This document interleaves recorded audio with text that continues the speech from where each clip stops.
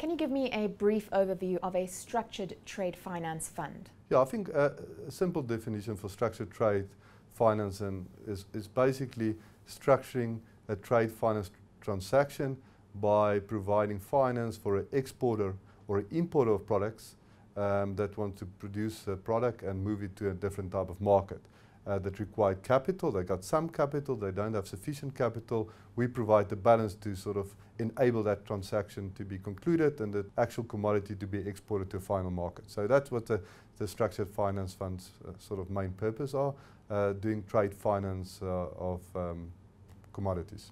And your strategy? So from our strategy, I think again, what we started off focusing on sort of the the export side of products, we um, increased it a little bit to be uh, not only focus on pure commodities, we moved to a little bit away from call it just grains and and, and, and agricultural commodities to minerals, mining, and even fast-moving consumables. You know, one of our latest transactions, we've been involved in importing uh, certain cell phones for uh, one of the big African telecom companies and distributing that across uh, uh, the African emerging markets. And not a lot of people know that you know, Africa is one of the leading sort of uh, tech providers in mobile communication for payments across the, Africa, specifically East Africa, and smartphone capacities required for that but not always the, the big Apple and Samsung phones. It's very expensive and not always affordable. So we engage in a project by bringing in sort of technology for smartphones to the wider population and,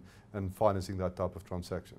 So it's, it's actually to be, the base is looking at the trade side of the transaction, but also to think more out of the box and, and see opportunities and, and go into that market. So that project's been going on for currently three years and, and, and been quite successful.